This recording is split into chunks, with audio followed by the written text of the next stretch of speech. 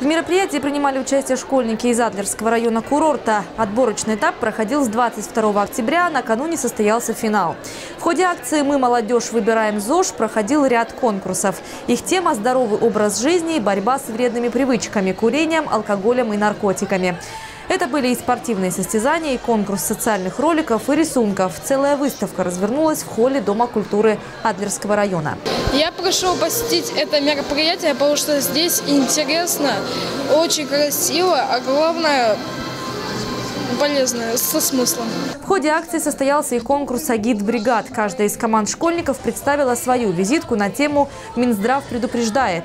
О важных вещах, о борьбе с разного рода зависимостями школьники говорили через песню, танец или даже шутя в жанре КВН. Подготовка агит-бригад в каждой школе, которая сможет работать на площадках, на улицах района в течение всего года. Можно сказать, что в этой программе, в этой акции, которая под собой имела длительный э, период, длительный период времени, приняли участие практически все школьники Адлерского района.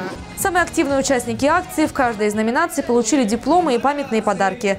Организаторы планируют, что акция «Мы молодежь, выбираем ЗОЖ» будет проводиться регулярно.